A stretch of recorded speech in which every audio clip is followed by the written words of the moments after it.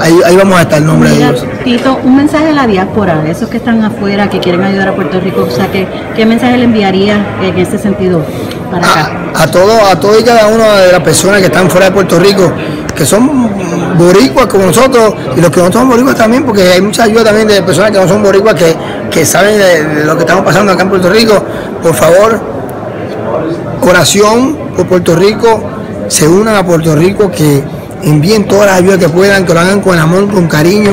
Puerto Rico siempre ha sido también un, un- país eh, que, que siempre da, nosotros damos para para otros otros países cuando han pasado también alguna una acá alguna desgracia alguna algo fuerte fuera de fuera de alguna, algún país fuera. Y Puerto Rico siempre se ha destacado por esa parte. Ahora necesitamos de, de todos ustedes. Gracias a todos a mi familia allá en Estados Unidos.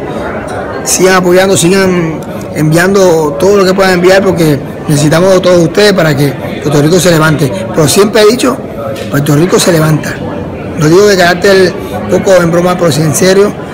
Cuando yo me caía, me caía, pa, el árbitro me contaba, pero me levantaba rápido. Yo sé que Puerto Rico lo vamos a hacer igual. Nos vamos a levantar y con más fuerza.